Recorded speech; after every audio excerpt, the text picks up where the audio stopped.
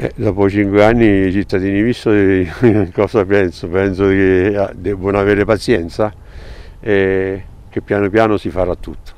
Ci vuole tempo, logicamente, abbiamo perso degli anni perché eh, i commissari precedenti non hanno fatto quello che dovevano fare, poi logicamente Errani veniva dall'Emilia Romagna e qui non poteva importare il sistema Emilia Romagna perché qui le, le case e le, e le costruzioni sono di tutto altro tipo.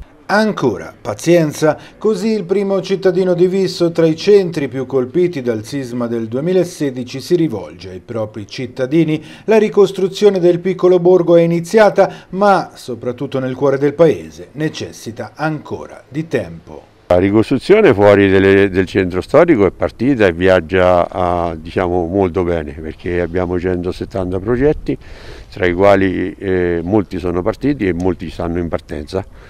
Per quanto riguarda il eh, centro storico abbiamo fatto un'ordinanza speciale che comprende la parte esterna di Visso, la parte dove sta il Parco Nazionale, la chiesa di San Francesco, eh, l'Istituto Divino Amore, eh, la chiesa Santo Spirito, un privato e l'arco e la porta d'entrata a Visso.